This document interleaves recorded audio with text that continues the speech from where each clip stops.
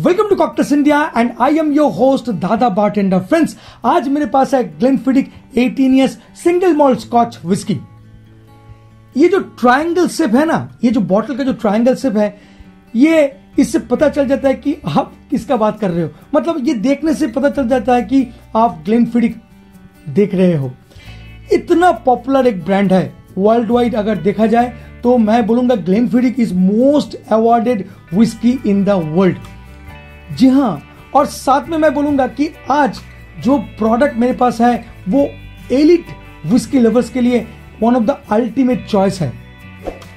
अगर आप कभी भी, कोई भी बार में जाते हैं तो आपको ग्लेनफिडिक बिल्कुल मिलेगा।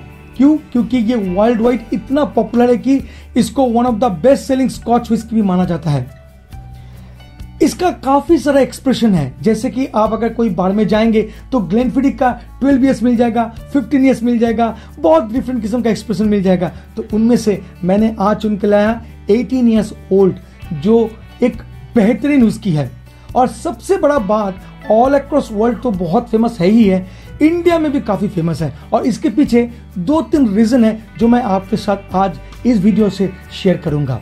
एक बात मैं आपको ज़रूर बोलना चाहूँगा ग्लेनफिडिक 18 ईयर्स के बारे में, कि ये सिर्फ़ 18 ईयर्स ओल्ड एक हुस्की नहीं है, इसके साथ एक होल जेनरेशन जुड़ा हुआ है, इसके साथ हुस्की क्राफ्टिंग का हुनर जुड़ा हुआ है, इसके साथ नॉलेज जुड़ा हुआ है। जब भी आप कोई ग्लेनफिडिक का प्रोडक्ट खरीदते हो, तब आप एक होल एक्सपीरियंस खरीदते हो not only a eighteen years twelve years product तो चलिए इस इंटरेस्टिंग प्रोडक्ट के बारे में कुछ जानते हैं और स्पेशल इंफॉर्मेशन आपके साथ शेयर करते हैं कि ये इतना कामयाब क्यों है, इतना पॉपुलर क्यों है इंडिया में।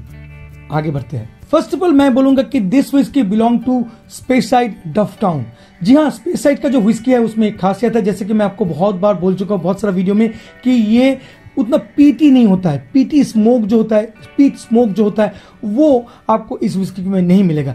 जो मैं समझता हूँ कि इंडिया में सक्सेस होने का एक बहुत बड़ा कारण है। और इसके साथ साथ मैं और एक चीज़ ऐड करूँगा कि इसका अवेबिलिटी आप कोई भी सिटी में जाओ, कहीं भी जाओ तो आपको ग्लेनफिडिक बिल्कुल मिल जाएगा। तो ये भी एक सक्सेस का राज है इंडिया में। अब थोड़ा समझते कि टेक्निकली ग्लेनफिडिक 18 इतना पॉपुलर कैसे हुआ? सबसे आगे मैं बोलना चाहूँगा कि ग्लेनफिडिक 18 विस्की एक सिंगल मॉल्ट विस्की है।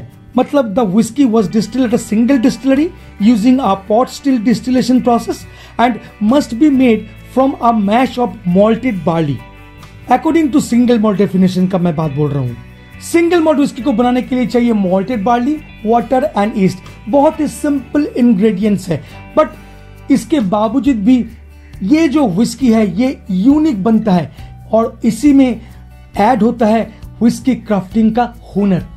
बेस्ट क्वालिटी मॉल्टेड बार्ली को सिलेक्ट किया जाता है इस अमेजिंग विस्की को बनाने के लिए और रॉबीड्यू रिवर का नेचुरल स्प्रिंग वाटर को यूज़ किया जाता है। ग्लेनफिडिक 18 सिंगल मॉल्ट का जो प्योरिटी है, उसको बरकरार रखने के लिए। बट विस्की में ट्विस्ट तब आता है जब 31 distinctively shape swan neck copper pot still में डिस्टिल करते हैं।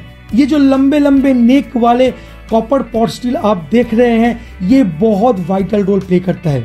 इन सब कॉपर पॉट स्टील छोटा होता है as compared to regular pot still और हैंडमेड बनाया गया है। एक स्पेशल क्राफ्ट्समैन टीम को जो ग्लेनफिडिज का एम्प्लॉय है प्रोसेस को हमेशा मेंटेन करने के लिए रखा गया है।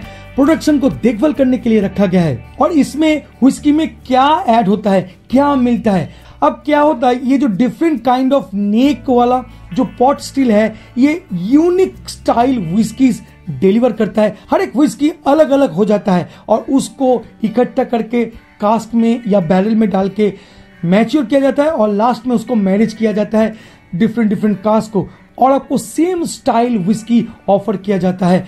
तो इसीलिए ये different different copper pot still different shape copper pot still को इस्तेमाल करते हैं ये कंपनी विस्की में सबसे इंपॉर्टेंट है टाइम जब तक विस्की में टाइम नहीं देंगे तो वो विस्की प्रॉपर विस्की नहीं बनेगा। सो so, इस फ्रूटी एंड रुबैस एक्सप्रेशन को हासिल करने के लिए ग्लेनफिडिक को स्पेनिश ओलोरोजो सेरी बर्ड्स में और अमेरिकन बर्बन कास्ट में 18 इयर्स तक मैच्योर किया जाता है। और जब मैचुरेशन कंप्लीट होता है those casks are then nurtured in small batches for further three months for a remarkable deep rich and complex flavour के लिए। प्राइस है इस विस्की का ट्वेल्व थाउज़ेंड के करीब करीब, जो लिखा है। नो लिखा है कि इलेवन थाउज़ेंड थ्री हंड्रेड जो मैं बोलूँगा कि ये वेस्ट बंगाल का प्राइस है। तब तक मैं आपको विस्की पोर भी कर देता हूँ। और मैं दो तीन चीज़ मैं आपके साथ शेयर करूँगा इस विस्की के बारे में, जो मुझे बहुत ख़राब लगा। कि ये जो विस्की है इसमें कलर को यूज़ किया गया है। इतना एक्सपेंसिव विस्की और इसमें अगर 150 ए को यूज़ किया गया तो ये बहुत गलत है। साथ में मैं बोलूँगा कि ये चिल फिल्टर्ड भी है। मतलब आ, ये नेचुरल नहीं है। इसमें इसमें फिल्ट्रेशन प्रोसेस को यूज़ किया गया। इस, इसका जो ओरिजिनल टेस्ट है फ्रेग्रेंस है उसको ना कुछ हद तक रिड्यूस किया गया है वो जो चिल फिल्ट्रेशन प्रोसेस के ज़रिए। तो ये भी मुझे बहुत खराब लगा। और एक चीज़ है कि इसका जो परसेंटेज ऑफ़ एल्कोहल है, वो भी बहुत कम है। मतलब 40 परसेंट एल्कोहल 40 परसेंट एल्कोहल और इतने एक्सपेंसिव विस्की आपको इस विस्की को एटलीस्ट 46 होना चाहिए था, या एटलीस्ट 43 होना चाहिए था, जो नेचुरल होता है बट उससे भी कम। और हाँ ये जो है बॉटल ये है सेवन हंड्रेड एम का एक बॉटल तो यहाँ पर 50 एम आपको और भी कम मिलने वाला है। तो कुछ ये था जो मुझे ठीक नहीं लगा तो मैंने आपके साथ शेयर किया। तो चलिए नोस करते हैं और इस के बारे में बताते हैं। पहले तो मैं बताऊँगा कि इसका जो कलर है, ये हॉनी गोल्ड कलर है। और जैसे कि मैं आपको बताया कि ये इसमें आर्टिफिशियल और यू नो नेचुरल कलर को ऐड किया गया है। तो चलिए नोस करते हैं। मैं एक बात बोलूँगा कि ये ओवर पावर विस्की नहीं है। मैं जैसे मैं अपना नोज़ की तरफ़ लाया तो मुझे वो ओवर पावर नहीं लगा, क्योंकि ये 18 साल एज डेक विस्की है। तो ऑफ़ कोर्स ये आपको कभी भी ऐसा नहीं फील देगा। ग्रासी मॉल्ट का कुछ नोट्स आ रहा है। कम्प्लेक्स फ्रूट नोट्स अगर स्पेसिफिकली बोलूँ तो मिलन का मुझे मिल रहा है। और डार्क स्वीट्स जैसे कि अगर स्पेसिफिकली बोलूँ तो मैं बोलूँगा कि टॉफी का कुछ हिंट मिल रहा है। और बटर स्कॉच काफ़ी कैरमल का नोट्स आ रहा है। बिट ऑफ़ वेनिला नोट्स मुझे मिल रहा है और मैं बोलूँगा टच ऑफ़ ओक फ्रेग्रेंस मुझे मिल रहा है। तो चलिए अभी पैलेट में लेकर आपसे थोड़ा सा डिस्कस करते हैं। बहुत वेल बॉडीड विस्की है, मैं बोलूँगा। काफ़ी देर तक ये अच्छा खासा आपका माउथ में एक वैक्स का कोटिंग कर रहे हैं। साथ में मैं बोलूँगा बिट सिट्रसी। सिट्रसी नोट्स मिल रहा है। एक मिनट और एक बार लेता हूँ। सेरी का स्वीटनेस जो है, वो मुझे मिल रहा है। थोड़ा सा स्पाइसेस का एहसास आ रहा है और मैं बोलूँगा हाँ कुछ स्पाइसेस का फीलिंग दे रहा है। साथ में बोलूँगा कि काफ़ी स्वीट है। मतलब आप जब फ़र्स्ट सिप लेंगे तो आपको काफ़ी स्वीट लगेगा बट स्लोली वो स्वीटनेस गायब हो जाएगा और स्पाइसेस जो है, वो पीछे से आपको फील देना चालू करेगा। तो काफ़ी इंटरेस्टिंग एक विस्की है, मैं बोलूँगा। और थोड़ा सा और सिप लेते हैं। यस काफ़ी शुगरी है। और फिनिश का बात बोलूँ तो फिनिश में मैं बोलूँगा कि वेल बॉडीड विस्कीज के चलते आपको अच्छा खासा एक कोटिंग देता है। काफ़ी लिंगरिंग है, बहुत टाइम तक आपका थ्रोट में वो स्टेबल होता है और बहुत स्लोली डाउन होता है। और जैसे जैसे होता है तो आपको वो जो फ्रूटीनेस का एहसास है वो देता है। काफ़ी फ्लोरल भी लगता है नो डाउट जब आप उसको गल्प करते हैं या शैलो करते हैं।